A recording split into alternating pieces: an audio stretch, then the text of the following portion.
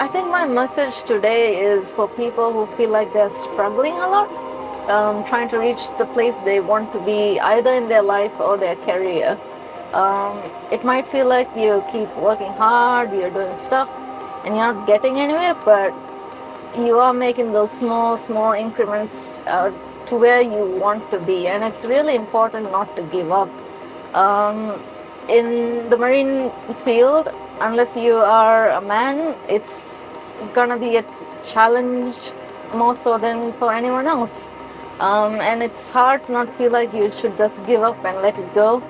But it's important to remember that it does pay off in the end. Um, I never thought I would be able to reach here um, as a marine scientist, as a marine scientist in the Maldives, yet here I am 500 meters deep doing something absolutely unreal. Um, and that's entirely because I didn't give up when I just wanted to quit at the end of the day. And that's, it's a difficult thing to do um, and it's exhausting, but you get there and it makes it all worth it.